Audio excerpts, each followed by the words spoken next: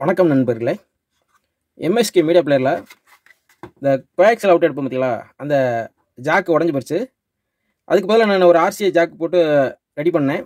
ஆனால் அதில் audio check பண்ணும்போது பார்த்தீங்கன்னா ஆடியோ லேசாக கட்டாய் கட்டாய் வர மாதிரி இருந்துச்சு. அதனால் அந்த முறையை கைவிட்டுட்டு இப்போ அதுக்கு என்ன செய்யணும்னா நம்ம ஆர்சி ஜாக் போடாமல் டைரெக்டாக நான் ரெடி பண்ணியிருக்கேன் பாருங்கள் இப்போ ஒரு சைடு இந்த மாதிரி ஆர்சிஐ பின்ன ரெடி பண்ணிவிட்டு இன்னொரு சைடு ஒயர் இருக்குல்ல அந்த ஒயரை டைரெக்டாக இந்த உள்ள இந்த போர்டில் சால்டிங் பண்ணிடணும். அப்படின்னா தான் அந்த ஆடியோ கட் ஆகிற பிரச்சனை இல்லை. அது எப்படி சால்டிங் பண்ணுறதுன்னு உங்களுக்கு காட்டுறேன். ஃபஸ்ட்டு இதை ஓப்பன் பண்ணிக்கலாம். இந்த போர்டு தான் அது. இந்த இடத்துல இதே மாதிரி ஜாக்கு வரும். அது வந்து உடஞ்சிருச்சு.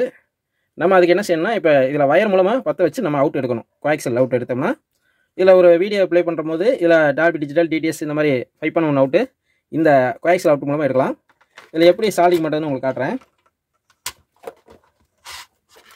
ஃபஸ்ட்டு இந்த கோயாக்சல் இன்புட்டு கொடுப்போம்ல அந்த இடத்துல இந்த சீல்டு வயரை எடுத்துக்கிட்டு இந்த ஒயரை பொறுத்தளவுக்கு உங்களுக்கு ஃபஸ்ட்டு எந்த அளவு நீளம் இந்த பின்னு தேவையோ அந்த அளவுக்கு நீளத்தை நீங்கள் கரெக்ட் பண்ணி வச்சுக்கிட்டு தான் இந்த சால்டிங் பண்ணணும். ஏன்னா அது ஒவ்வொரு இடையும் நம்ம மாற்ற முடியாது.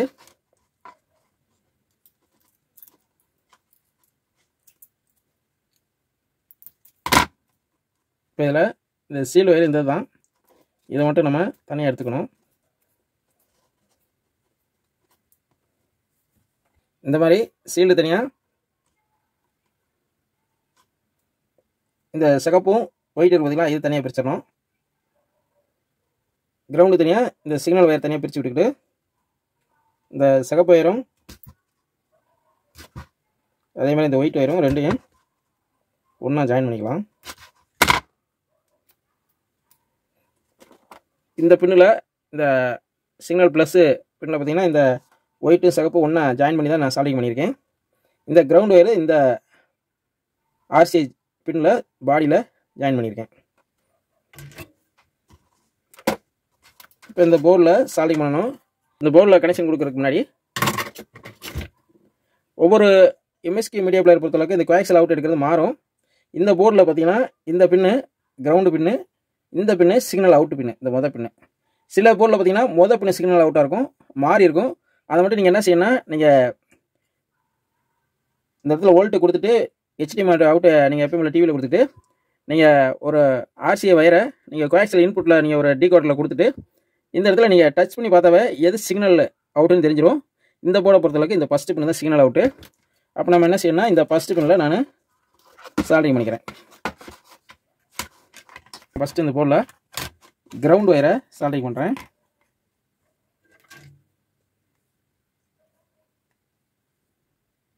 சால்டிங் பண்ணிட்டேன்.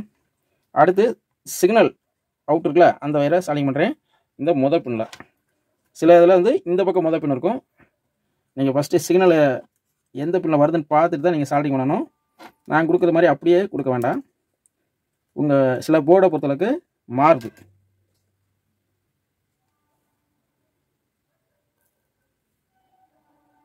இப்போ இப்போ பாருங்கள் இந்த மாதிரி சால்டிங் பண்ணிக்கிங்க. ஃபஸ்ட்டு சிக்னல் அவுட்டு இது வந்து கிரவுண்டு இது மாதிரி சால்டிங் பண்ணிவிட்டு நம்ம இந்த போர்டை எப்பயும் போல் அந்த இடத்துல ஃபிட் பண்ணிட வேண்டியதான் ஒரு குழு இருந்தால் கூட இந்த இடத்துல குழு ஊற்றிக்கலாம் அதாவது குளுக்கனை வச்சு குழு ஊற்றிக்கலாம் நான் இதுக்கு முதல் ஒரு வீடியோவில் இந்த மாதிரி ஒரு ஆர்சிஐ ஜாக் போட்டு ரெடி பண்ணுற மாதிரி வீடியோ போட்டிருந்தேன். அந்த முறையில் ஆடியோ வந்து சக்ஸஸ் ஆகி வந்துச்சு. ஆனால் ஆடியோ வந்து கிளிப் ஆச்சு. அதாவது டக்கு டக்குன்னு கட்டாயி கட்டாயி ஆடியோ வந்துச்சு. அதனால் இந்த முயற்சியை விட்டுட்டு இப்போ நான் என்ன பண்ணியிருக்கேன்னா டைரெக்டாகவே ஒரு சீல்டு வயர் மூலமாக எடுத்து அந்த சீல்டு வயரோட அவுட்டை வந்து இந்த இது மாதிரி ஒரு ஆர்சியை பின்னில் கனெக்ஷன் பண்ணியிருக்கேன். அவ்வளோதான் இப்போ நம்ம சால்டிங் பண்ண இடத்துல குளூ கனை வச்சு குளூ ஊற்றிக்கலாம்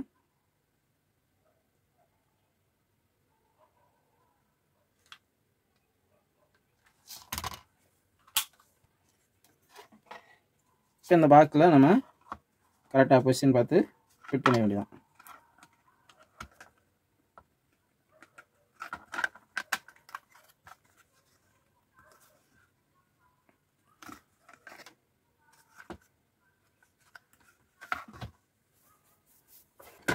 இதுக்கு டோர் போட்டுக்கலாம்?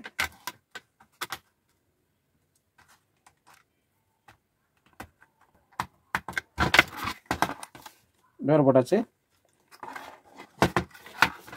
இப்போ வந்து இந்த ஒயர் வந்து வெளியே தான் இழுத்தா வராமல் இருக்கிறதுக்கு ஒயர் வர இடத்துல அப்படியே குளூ ஊற்றிக்கலாம்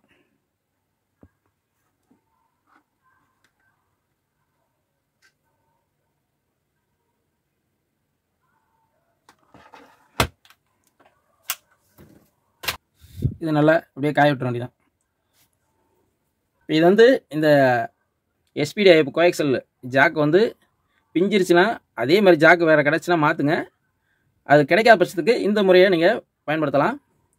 இதை நான் உங்களுக்கு கனெக்ஷன் எல்லாம் கொடுத்துட்டு ஒரு ஆடியோ டெஸ்டிங் உங்களுக்கு காட்டுறேன். இது ஃபைவ் பாயிண்ட் ஒன்று வருதா? கரெக்டாக வேலை செய்தான்னு நம்ம செக் பண்ணிடலாம். இது நல்லா காஞ்சிருச்சு. இப்போ இந்த வயரை நம்ம ஒரு ஆம்பிளிஃபையரில் அல்லது டீகோடரில் கோஆக்சல் இன்புட்டில் கொடுத்தோம்னா ஆடியோ நம்ம டிஜிட்டல் ஆடியோ நம்ம கேட்க முடியும். இப்போ கனெக்ஷன் கொடுத்துட்டு ஒரு சின்ன ஷார்ட்டாக ஒரு வீடியோ ப்ளே பண்ணி ஆடியோ டெஸ்டிங் பார்க்கலாம். இப்போ ஃபஸ்ட்டு ஹெச்டிஎம் வேறு அவுட்டு எடுத்துக்கலாம். ஒரு ஃபைவ் வோல்ட்டு லைன் கொடுத்துக்கலாம். இதுக்கு வோல்ட் லைன் வந்துடுச்சு அடுத்து ஒரு பென் ட்ரைவை இதில் சொருகிக்கலாம். இப்போ டிவி ஆன் ஆகிட்டுருக்கு இப்போ அந்த மீடியா பிளேயர் ஆன் ஆயிடுச்சு. இதில் எப்பயும் போல் நம்ம ஆடியோ செட்டிங்ஸ் மட்டும் இதில் செட்டிங்ஸில் போனீங்கன்னா இதில் சவுண்டுன்னு ஒரு ஆப்ஷன் இருக்கும். அதில் மூணாவது ஆப்ஷன் பார்த்தீங்கன்னா ஆடியோ டிவைஸ்ன்னு இருக்கும். அது மட்டும் எஸ்பிடிஐ ஆப் பாஸ் த்ரோ அது மட்டும் ஆன் பண்ணி வச்சுக்கோங்க. இப்போ பேக் வந்துடலாம் அவ்வளோதான் வேறு எந்த செட்டிங் பண்ண தேவையில்ல.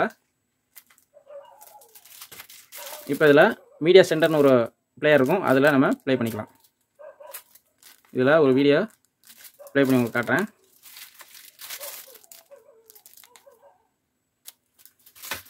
இப்போ ப்ளே ஆகிட்டு இருக்கு. இந்த பாக்ஸில் இந்த கோயாக்சல் அவுட் எடுத்தோம்ல அந்த வயது அது இதை. வந்து இந்த மாதிரி ஒரு டீகோடரில் கோயாக்சல் இன்புட்டில் கொடுத்தோம்னா ஆடியோ வந்துச்சு பாருங்கள் பாஸ் பண்ணுறேன் இப்போ ப்ளே பண்ணுற பாருங்க இப்போ ப்ளே பண்ணிட்டேன்.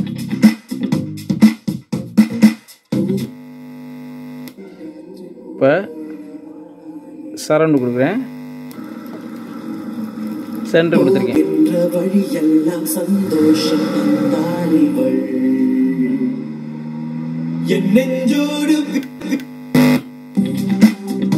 ரெண்டு லெஃப்ட் ரைட்டு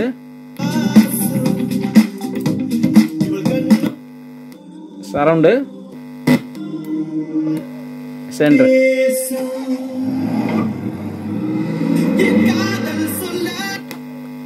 இது சப்பூப்பர் இப்போ இந்த வயர் எடுக்கும்போது சவுண்டு வர்றது இது சீல்டு வயர் இல்லை அதனால் சவுண்டு வருது. சரவுண்டு இப் பாஸ் பண்ணிக்கலாம். இப்போ இந்த எம்எஸ்கி மீடியா பிளேயில் இந்த குவாய்ஸில் அவுட்டை நம்ம ஒரு சீல்டு வயர் போட்டு நான் அவுட் எடுத்துட்டோம். இது நம்ம முடியாத பட்சத்துக்கு தான் இந்த மாதிரி எடுக்கணும். அந்த ஜாக்கு கிடச்சுன்னா நீங்கள் அதே மாதிரி ஜாயின் பண்ணியே நீங்கள் யூஸ் பண்ணலாம். ஆனால் இந்த முறையில் எடுக்கிறது பார்த்திங்கன்னா நம்ம தேவையான அளவுக்கு இந்த சீல்டு வேறு எவ்வளோ நீளம் வேணுமோ அந்த நீளத்துக்கு வச்சுக்கிட்டு தான் நம்ம இந்த சால்டிங் பண்ணணும். இந்த மாதிரி நான் இந்த எம்எஸ்கி மீடியா பிளேயரில் குவாக்ஸில் அவுட் எடுத்து யூஸ் பண்ணியிருக்கேன். இது சும்மா ஆடி டெஸ்டிங்காக இந்த பாக்ஸ் நான் வச்சுருக்கேன். இது உங்களுக்கு இந்த வீடியோ உங்களுக்கு யூஸ்ஃபுல்லாக இருந்துச்சுன்னா லைக் பண்ணுங்கள் மீண்டும் இது மாதிரி ஒரு நல்ல வீடியோவில் சந்திப்போம். நன்றி வணக்கம்.